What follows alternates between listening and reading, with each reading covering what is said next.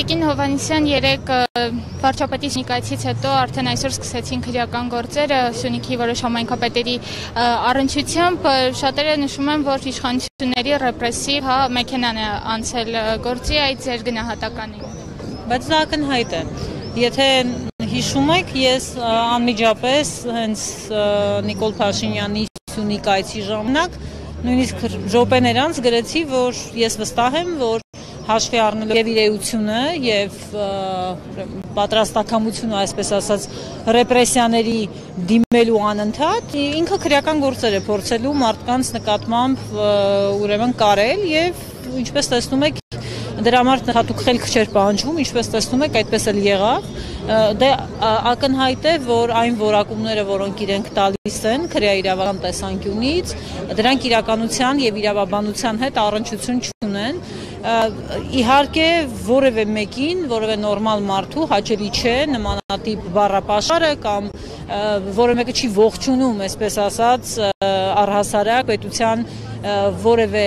պետական ինստիտուտի նկատմամբ նման վերաբերմունքը, բայց մենք իսկապես գտնվում ենք աննախադեպ վիճակում եւ պետք է նկատի ունենալ, թե ում հետ գործ ունենք եւ ինչպես է այդ մարդը ինքը սադրում այդ ամենը, բայց օրինակ այն հանցակազմերը, որոնք փորձում են էլ խուլիգանություն կամ չգիտեմ էլի ինչ որ բաների մասին էին խոսում, դրանք իրավաբանության հետ զուտ ուղակի մասնագիտական որևէ առնչություն չունեն։ Ակնհայտ է, որ փորձում է ճնշել, փորձում է վախեցնել, փորձում է ցույց տալ, որ իրեն չի կարելի հակադրվել, միջդեռ ցավում եմ իր համար, բայց ինքը պիտի հասկանա, որ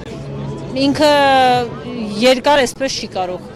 Ես ամեն անգամ դա ասում եմ, եւ մենք էլի կանգնում ենք մի փաստի առաջ, որ դեռ ունենք կապիտուլանտին որպես վարչապետ Հայաստանի, բայց դա ամենևին չի նշանակում, որ այդ վիճակը հավերժ է շարունակվելու։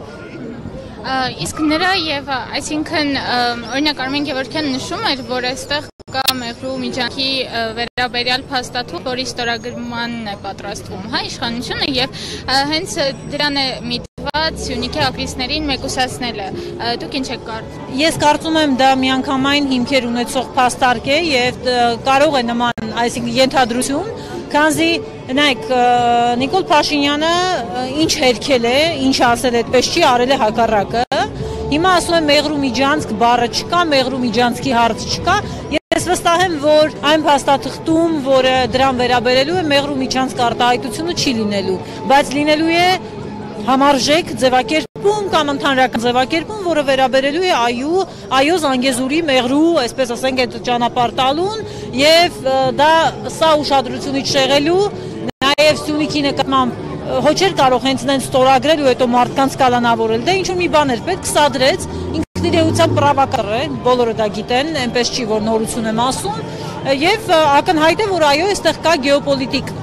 կոնտեքստ, պատական չէր իր հայտնվել այնտեղ, պատահական չէր այս ամենը, գիտեք, գիտի որ իրեն չեն ընդունում, գիտի որ կարող է ինչ որ բան լինել եւ եթե մենք լինեինք նորմալ երկրում, նորմալ պետության ղեկավար ունենայինք, մարդը պիտի խուսափեր, փորձեր հարթեր, հետո նոր ինչ որ գործողություններ ձեռնարկեր, բայց դուք տեսնում եք, որ ինքը գնում է սա դրանք, ինքը գնում է կոնֆլիկտի եւ նորմալ մարդու մոտ հարց է ցակում, ինչու Ինչի համար է դա անում։ Ինչի համար է իրեն պետք է հայհոյանքների տարափի ներքո նվաստանալով, ստորանալով գնալ առաջ, հետո ինչ որ փորձեին, այսինքն իր խոսնակի կամ չգիտեմ գիտեմ այնտեղ էլի այդ իրենց տարատեսակ քարոզիչների միջոցով ասել որ վայ մյուս տեղերում լավ են ընդունում եղբայր որտեղ լավ են ընդունում այնտեղ գնայր կամ մի հատ այնպես անեիր բոլոր տեղերում լավ ընդունեն նոր գնայր այսինքն ակնհայտ է որ գնալ կոնֆլիկտի սադրել քաղաքացիական պատերազմ այդ թվում հրահրել ռեպրեսիաների համար հիմք ստեղծել դա իր ձեռագիրն է արեց դա եւ ես չեմ ամենևին բացառում որ այո զոհասեղանին դրված է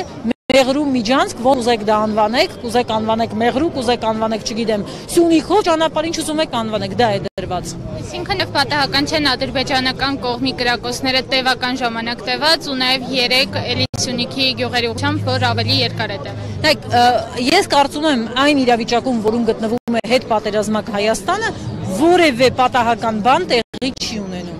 Առհասարակ պատահական բան այս օրերին տեղի չի ունենում որևէ տեսանկյունից, թե Ալիևի հայտարարությունները, լկտիագույն հայտարարությունները, որոնց գիտեք ոչ մի կերպ չեն պատասխանում։ Դուք նկատել եք, որ Նիկոլ Փաշինյանի ուժը պատում է եւ լեզուն երկար աշխատում է եւ այդ նողկալի բառապաշարը նա օգտագործում է բացառապես սեփական հայրենակիցների նկատմամբ, իր հետ անհամաձայնների նկատմամբ, Ալիևի նկատմամբ, որը Հայաստանի Հանրապետության իրական թշնամին է, 7000 եղբայրներին մեր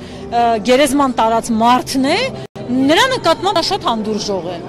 Եվ ոչ միայն նա, իրենց բոլոր այսպես ասած քարոզիչները, ամբողջ իշխանական ապարատը։ Իրենք խնդիր չունեն Ալիևի հետ, իրենք խնդիր ունեն հայերի հետ։